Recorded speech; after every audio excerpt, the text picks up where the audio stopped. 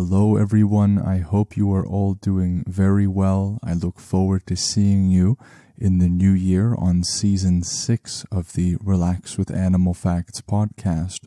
I just wanted to post as an announcement that I have written a book for those of you who want to start a podcast of your own. I have gotten messages from many of you asking, I want to start my own animal podcast or just my own podcast. Where do I even start? And so I have written a book in response to that because I have gotten to learn so much being the host of this show, which was made possible, of course, by your loyal and dedicated listenership.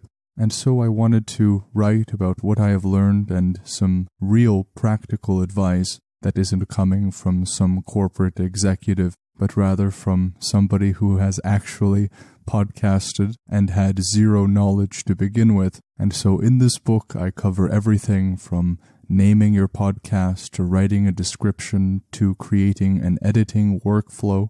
It walks you step by step of everything you need to start your podcast, to maintain your podcast, to grow your show, and so my hope is that I can help some of you to make your very own podcasts so that I have some more great shows to listen to. The book is called Anyone Can Talk, and you can buy it from either Amazon or an ebook version through the website relaxwithanimalfacts.com.